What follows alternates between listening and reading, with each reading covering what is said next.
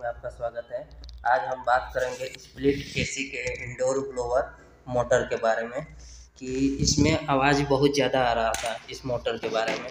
तो जब भी आपके इंडोर में से आवाज़ है स्प्लिट एसी के इंडोर में से आवाज़ है तो सबसे पहले आपको उसके बूस को चेक करना पड़ता है। अगर बूस कहीं कटा हो, टूटा हो या फट गया हो तो हम उसको चेंज करते हैं। और दूसरा नंबर हम ब्लोअर को भी चेंज चेक करते हैं कि हमारे कहीं बॉडी में टच तो नहीं हो रहा है। और थर्ड नंबर पर हम ब्लोअर के मोटर को भी चेक करते हैं। इस हमारे यूनिट में हम देखे थे कि तो हमारा ब्लोअर मोटर का प्रॉब्लम था। ये ब्लोअर मोटर से बहुत ज़्यादा आवाज़ कर रहा था। तो हम आज इसके बारे में आपको बताएँगे इसमें क्या क्या करना होता है और कैसे हम इसको ठीक करेंगे। सबसे पहले हम ब्लोअर मोटर को ओपन कर लेते हैं। ओपन करने के बाद से उसके हम साफ्ट को अगर रस्ट लगा हो, इसमें क्रोजन वोजन लगा होता है तो हम उसको साफ़ करते हैं और क्लीन करते हैं। और इसका जो भी हमारा बेयरिंग होता है, वो बेयरिंग हमारा जाम हो गया होता है, जिससे उसमें रस्ट होता है, उसमें क्रोजन तो हम बेयरिंग को सबसे पहले क्या करेंगे?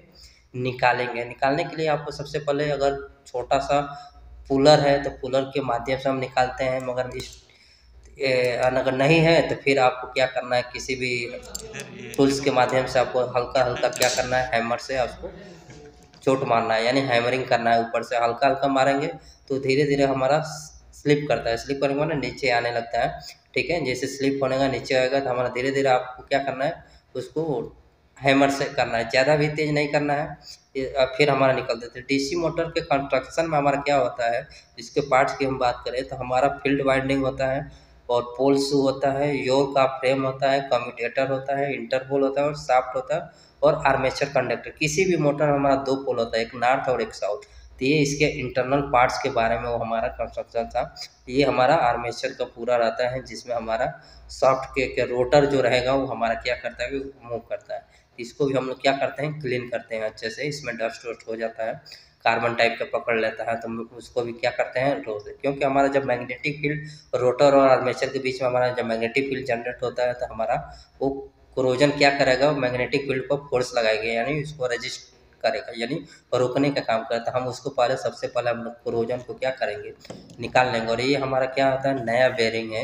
इससे हम इस बेरिंग को रिप्लेस करेंगे और इसके जगह पर हम नया बेरिंग लगाते हैं। तो ये सारी चीज़ें बेयरिंग की साइज़ आपको हमेशा जो बेयरिंग आपको ओल्ड यानी पुराना जो बेयरिंग लगा होता है मोटर में सेम उसी साइज़ का हम नया बेयरिंग मंगाते हैं और उसको हम लोग लगाते हैं। तो बेयरिंग का साइज़ अगर डिफरेंट होगा तो लगेगा नहीं और बहुत ज़्यादा दिक्कत होती है लगती नहीं नहीं है ठीक है? तो आपको ये ज़रूर ध्यान देना चाहिए। पर ये हमारा क्या है? टी सी तीन सौ दस वोल्ट गेज का ये हमारा फ्लोवर मोटर है टी सी का।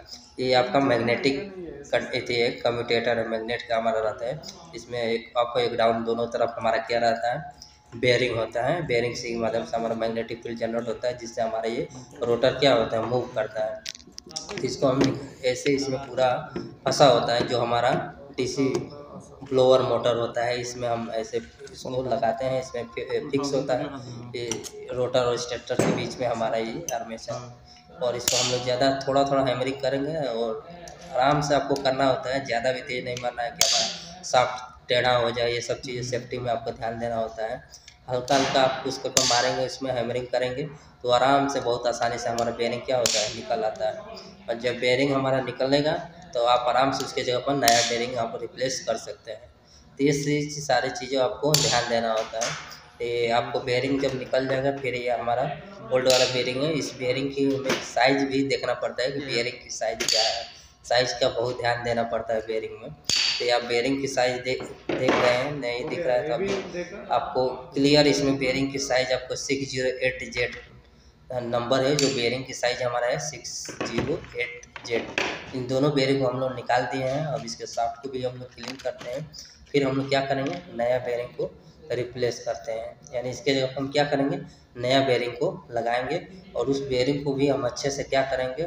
थोड़ा सा पुश करेंगे, यानी हम थोड़ा हैमर मारेंगे उसको और उस पर इसके साफ़ में पूरा हमें अच्छे तरीके से क्या करना है? फिक्स कर देना है, जिससे हमारा ये अच्छे तरीके से मूव करे। ठीक है? इसके ज़्यादा ध्यान देना ज़रूरी होता है। बेरिंग जब भी हम लगाते हैं तो बेरिंग का हमारा सॉफ्ट को हमेशा अच्छे से फिक्स होना चाहिए। अगर अच्छा सा फिक्स नहीं हुआ तो हमारा उसमें वाइब्रेशन आएगा और उसमें नॉइज़ का प्रॉब्लम भी आती है। तो ये सारी चीज़ें आपको बेरिंग रिप्लेसमेंट करते समय ध्यान देना होता है। तो ये हम न्यू बेरिंग भी इसके जिधर दोनों साइड में लगा रहता है। सेम प्लेस पर, सेम हम बेयरिंग साइज़ इसका हम ज़रूर ध्यान देते हैं और उसको फिर उसके बाद से ऊपर से हम बेयरिंग को क्या करेंगे? हल्का हल्का सा हैमरिंग करेंगे। हैमरिंग करने के बाद से आपको चारों तरफ़ घुमा घुमा कर करना है। ये नहीं कि एक साइड आप ज़्यादा हैमर करें, एक साइड हैमर करेंगे तो हमारा बेयरिंग टूट जाता है बेयरिंग हमारा डैमेज होने के चांस रहता है। तो ये आपका ज़रूर ध्यान रहता है और बेयरिंग साइज़ का भी ध्यान ध्यान रहा है कि हमें इस बेयरिंग के कितना साइज़ है। इस साइज़ के हिसाब से हम बेयरिंग को क्या करते हैं? न्यू रिप्लेसमेंट करते हैं। और फिर हमारा मोटर का जो आर्मेचर का कम्यूटेटर के बीच में जो रहता है रोटर, इसके हम बीच अच्छे से क्लीन कर लेते हैं। क्लीन करने के बाद से हम आपको क्या करेंगे, इसमें वो हमारा जो आर्मेचर कम्यूटेटर होता है, रोटे, रोटेटर, रोटर, उसको हम लोग क्या करते हैं, इसमें फिक्स करते हैं। ये सारी चीज़ें आपको ध्यान देना होता है। और जब ये फिक्स हो जाता है, फिर हमें इसको मूव कर कर भी देखना होता है कि अच्छे से ये चल रहा है कि नहीं चल रहा है। तो इस हिसाब से आपको क्या करना है, आसानी से इसमें फिक्स कर देना। फिक्स करने के बाद उसका एंड कैप ये है। इंड कैप को आपको ज़रूर ध्यान देना है कि जब भी इंड कैप को लगाएँ तो अच्छे से उसको फिक्स होना चाहिए। जब तक तो वो अच्छे से फिक्स नहीं होगा तो इसमें हमारा नॉइज़ का प्रॉब्लम आएगा, वाइब्रेशन होगा। तो जब अच्छे से आपको फिक्स हो जाएगा तब वो कट सना आवाज़ आती है इसका ध्यान देने के अच्छे से फिक्स हो जाए। फिक्स होने के बाद से हम इसके ऊपर से क्या करते हैं, रोटेशन लगा रोटेट करके घुमा कर देखते हैं, फिर हमारा इसका जो कवर रहता है कवर लगाते हैं। कवर लगाने के हमारे के बाद उसमें बूस होता है। जो बूस हम लगाते हैं बूस लगाने के बाद हम जब ब्लोवर को इसमें सेट करते हैं तो ये ब्लोवर से हमारा वहाँ उधर जाकर फिक्स होने का काम करेगा, जो हमारा बॉडी में दिया रहता है, उधर फिक्स होने का, जिससे हमारा ये मोटर ना मूव ना करे, इसमें वाइब्रेशन हो, उसको हमारा नॉइज़ को रोकने का काम हमारा बूस करता है। तो ये बूस का भी आपको ऊपर से अच्छे से लगा देना है।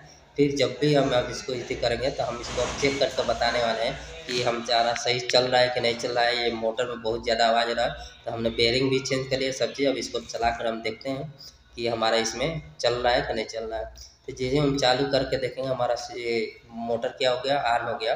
आप देख सकते हैं पीसीबी बोर्ड की मदद से हम क्या करते हैं इसको चेक किए जाते हैं, क्योंकि ये एसी वोल्टेज डायरेक्ट तो आप चेक नहीं कर सकते हैं डीसी वोल्टेज पे काम करता है, ये 310 वोल्टेज पर डीसी वोल्टेज पर काम करने वाली हमारी मोटर है।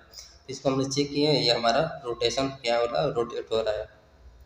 तो जब भी हम रोटेट करके देख रहे हैं आप कितना अच्छा सा रोटेट हो रहा है, इसमें आवाज़ भी नहीं आ रहा है तो आप इस तरीके से डीसी मोटर स्प्लिट एसी के आप इसको बेरिंग को आप चेंज कर सकते हैं नॉइज़ प्रॉब्लम है तो आप इसको ऐसे हम क्या कर सकते हैं रिपेयर कर सकते हैं, इसमें हाई, मीडियम, लो, इन तीनों स्पीडों को हम लोग वन बाई वन कर चेक कर लेते हैं जिससे हमारी ये सारी प्रॉब्लम क्या होती है, सॉल्व हो जाती है। तो मुझे उम्मीद है दोस्तों कि आपको ये वीडियो देखने के बाद आपको समझ में आ गया होगा कि how to replace DC blower motor bearing और अगर आप मेरे चैनल पर नए हैं तो मेरे चैनल को सब्सक्राइब कीजिएगा लाइक कीजिएगा और शेयर कीजिएगा। ये लगाने के बाद हमारा एसी क्या इसमें पूरा अच्छे से एकदम वर्किंग कर रहा है। Thank you for watching this video